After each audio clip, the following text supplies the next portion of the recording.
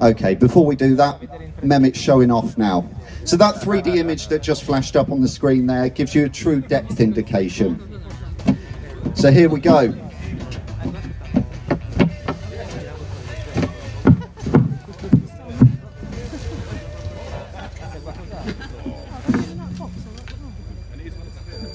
So let's take a look at what we found.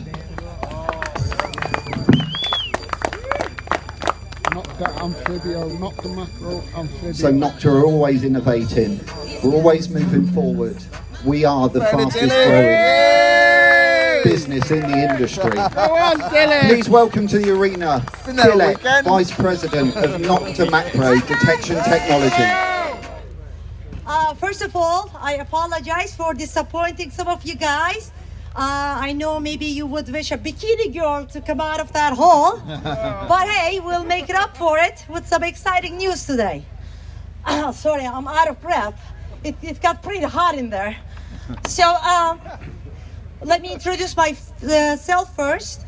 My name is Dilek, and I'm the Vice President of Sales and Marketing at Nokta and Makro Detectors the uh, sponsor of Detectival 2018 and the fastest growing company in the industry right now. Before I show you guys some of the products we have in the pipeline, um, I would like to make an important announcement.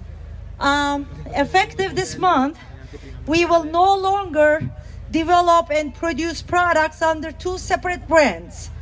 We will, moving forward, uh, consolidate the brands and all the products launched will be um, branded and uh, labeled with our new Nokta Makro logo. With that being said, here is our first Nokta Makro product, the Anfibio. The Anfibio features, this is a waterproof product up to 5 meters. It features our new 11 inch coil design, very ergonomic, very balanced, new settings, and the product is ready to be shipped next month. So, guys, come and check it out at our marquee. And if you're interested, you can check with your dealers on the exact shipping dates at the end of the month. Now, comes our second product our scuba pointer. This is a patent pending product, guys, and what's cool about it is this is a two in one device.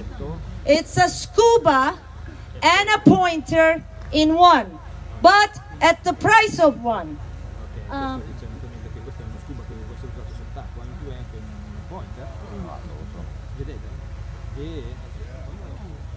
this product can be used on land and underwater and the pinpointer has wireless capability which is compatible with our popular models including the Kruzer series and uh, anfibio and the products moving forward.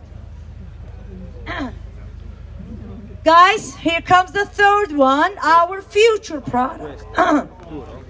This is called the simplex why do we call it the simplex because it's simple enough for beginners and professional enough for experts who want a really good backup detector or for people who simply don't want to spend a lot of money on a detector. Waterproof entry level detector. When I say entry level, I uh, we're looking at like anywhere between 250 to 400 dollars. Okay, waterproof has built-in wireless okay? And the um, the um, higher version will also be updatable.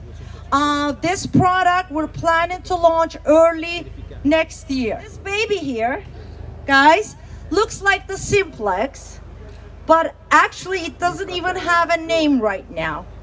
And why is that?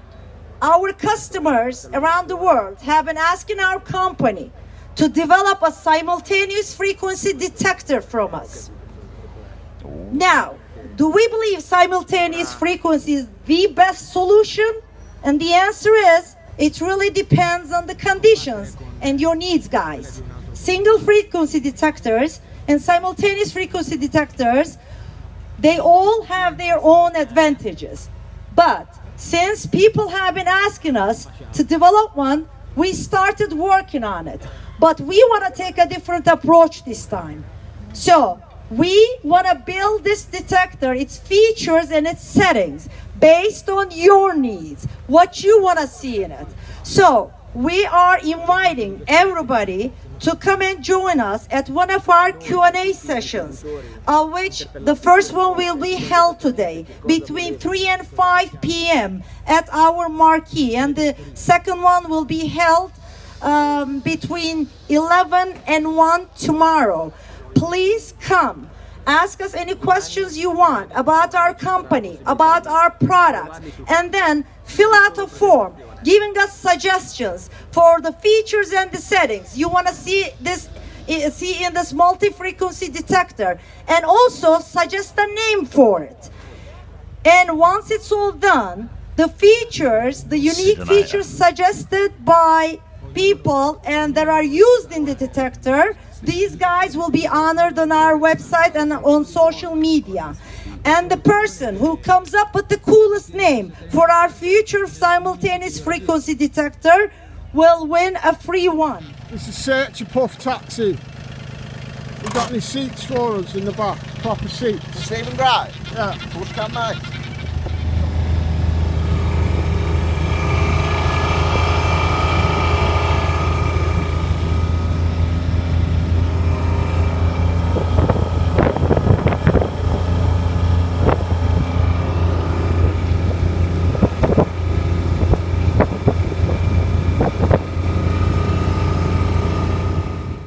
Okay guys, been out swinging on this Roman field at uh, detectival about 20 minutes now and I've got my first Roman.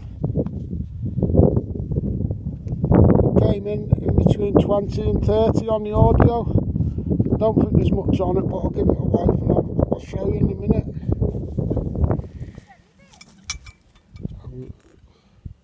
So uh, there it is cleaned up a bit it is a Roman, you can tell. That's his head there, look. Just there. Possibly. Oh, there he is. There he is. Where you go, love? You gotta, you gotta do the Roman fist bump with us. Yay! On the bloomin' Romans with Mr. and Mrs. Anglo Celtic. On the Romans, Dawn! Got a Roman! There's Digging Dawn! Yay! Okay, what, what's your name? Nicola? Nicola. Yes. And uh, you got a Roman artifact there? Yes, Roman tool. Okay. This one. And what have you got there, mate? I think I've got one coin here. Yes. You got another Roman. What's your name? My name is Tomasz. Where have you come from? Uh, Edinburgh, originally from Poland. Ah, Polish guy, Polish guy. Edinburgh, Scotland. Scot he's a Scottish Polish guy. Polish. Happy days. London. Where have you come from, Nicolas? France, Paris.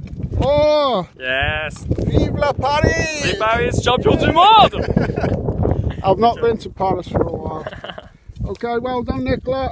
Thanks. Good luck for the rest of the day. Done any swinging out here today yet? Yeah, yeah, I've worked my way round, rampant. Rampant, Yeah, Sure. rampant. Yeah, mate. Jordan Button, with his woman's hat on, he's rampant. What did you find? Oh, just a few buttons, fine. A few buttons for Jordan Button. I did half an hour and I got one Roman bronze, Jordan. Lovely.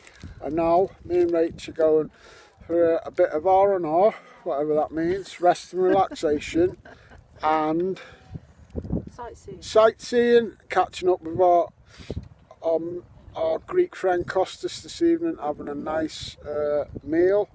Tomorrow I'm coming back for the Nokta Makro Q&A. Going to give them all the top input from the world's foremost detectorist here. I'll, I'll show them what to do tomorrow because they need some answers apparently. What will you be doing tomorrow, Jod? I'm going to be um, on the Saxon field. Knee deep, Rampant, rampant. knee deep and rampant Knee on the deep and Saxon field. That's it. Would you like to give anyone a shout out? Yeah, um, nah. Shut a minute. What about your mum and dad? They're not on Facebook. This is going on YouTube. Is it? They're not on that either. It's on the telly. if it's on Channel 1, they might get it. Right, shout out to your mum and dad. What are the names? Oh no. Mum and Dad. Mum and dad, Mr. and Mrs. Button. Shout out. Shout out. Put that cheese sandwich down and get subscribed to Anglo Celtic. Come detectival. is that it? Yeah, that's it. Cut. Cut. Well, oh, we're just in the village of Burford and we're just going to have a look at this little old mosque, I mean church, uh, because Anglo Celtic is not, not all about detecting. We've got to get out and see some of this lovely English countryside. My new bride. We're going to do a bit of sightseeing now. We'll get back to Detectival for the Nokta Makro questions and answers tomorrow. So I'll go and show you a bit of this church and stuff. The gardens are meant to be really nice. Lots of like really old graves here by the looks of them. Old, old merchants, wool old- merchants. old wool merchants' graves. Burford was, like all these Cotswold towns, integral to the wool trade. Lovely.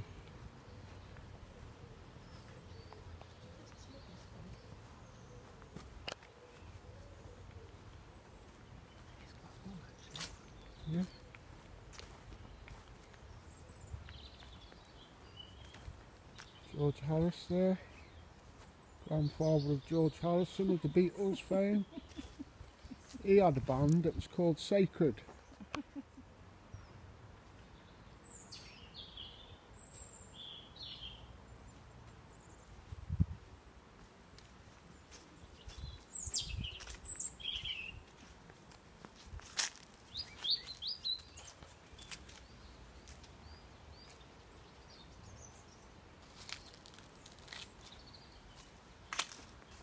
Is the river over there, is it, darling? Yeah, if you walk a bit further down, a stream or Oh, river. it's nice, isn't it? There's a little uh, duck over there. Oh, yeah. There's a fish in there. You won't, probably won't pick it up on this camera.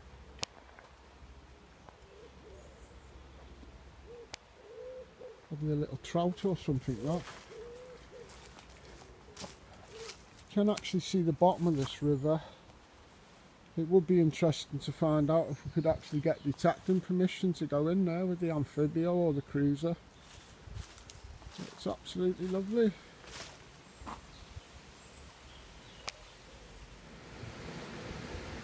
It's like an old leat, a little offshoot of the river there. Very ancient little gate onto the side of the river. Hear the water running. On the back of the church now.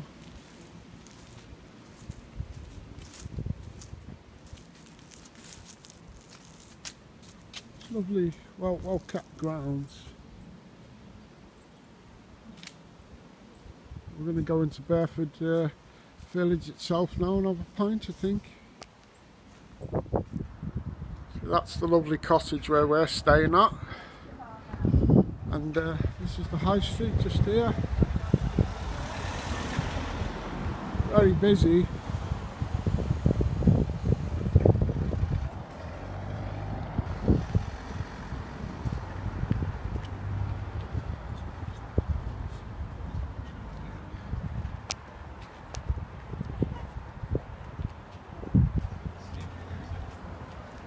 We're going to find a pub.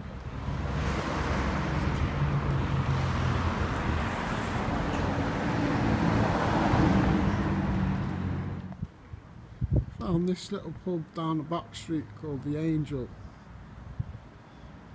Heard that it's uh, 16 guineas a pint in here, love.